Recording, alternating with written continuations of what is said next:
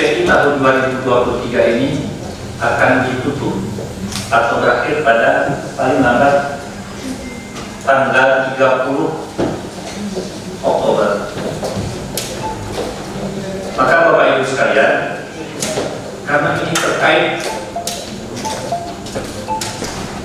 survei penilaian integritas yang dinilai itu kemungkinan kan kita sebagai kepala SKPK dan ini terkait dengan KPK artinya apa yang dinilai oleh bawahan kita terhadap kita itu ada tindak lanjut.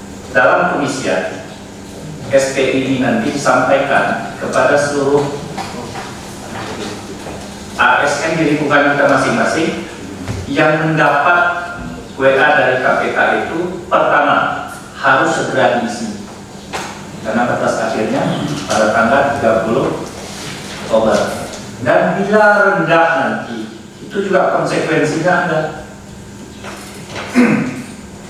Ke kanan kepala daerah nanti setelah tutup tanggal 30 Oktober akan dipanggil oleh KPK kami sudah pernah ikut dengan Pak Irbansus ke Jakarta kalau yang rendah itu justru bupatinya dipanggil satu-satu untuk berdiri oleh KPK nah kemudian di dalam memberikan penilaian juga anggota kita itu visionernya itu banyak termasuk menyangkut masalah ada 8 area intervensi kalau nggak salah termasuk bagian itu ada di situ KKM-nya, ada di situ sistem pengadaannya, ada di situ masalah produksi dan lain sebagainya.